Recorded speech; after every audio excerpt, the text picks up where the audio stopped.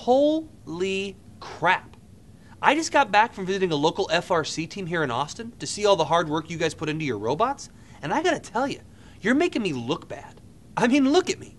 I sit at my desk, I program a little, I go to a ton of meetings, and try to coast through my day without getting in any trouble. You guys? I mean, you're building a robot from scratch in your spare time. You know what I do in my spare time? Not build robots, that's for sure. I mean, who knows what you guys are capable of?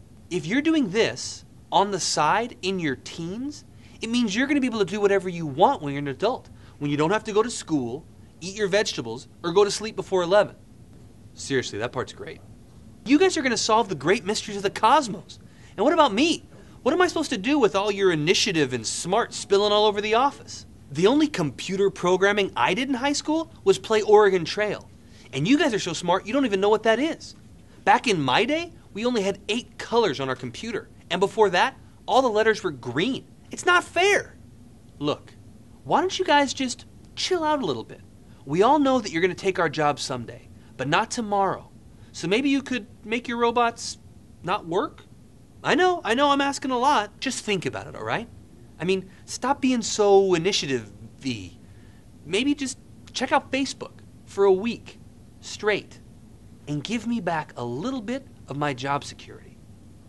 Hey, you can find more videos at anengineeringmind.com or you can follow us on Twitter at engineeringmind.